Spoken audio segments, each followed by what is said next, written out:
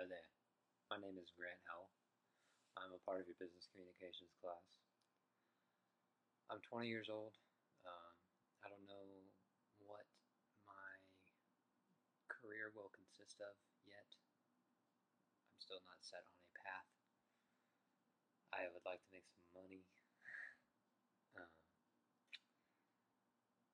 saying um a lot. In my opinion, the facets that are involved in effective business communication involve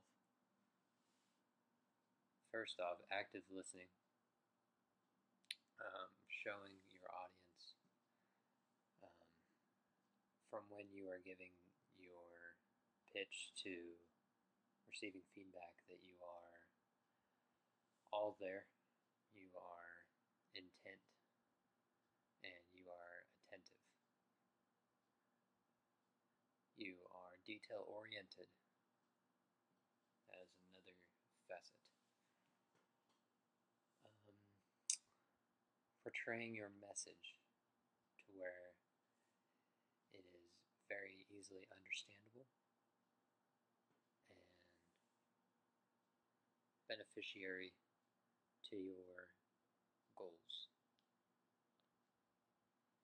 And finally, I think most important facet of effective business communication involves receiving feedback on what you have said as the source of the information that you are providing to your audience. With that being said,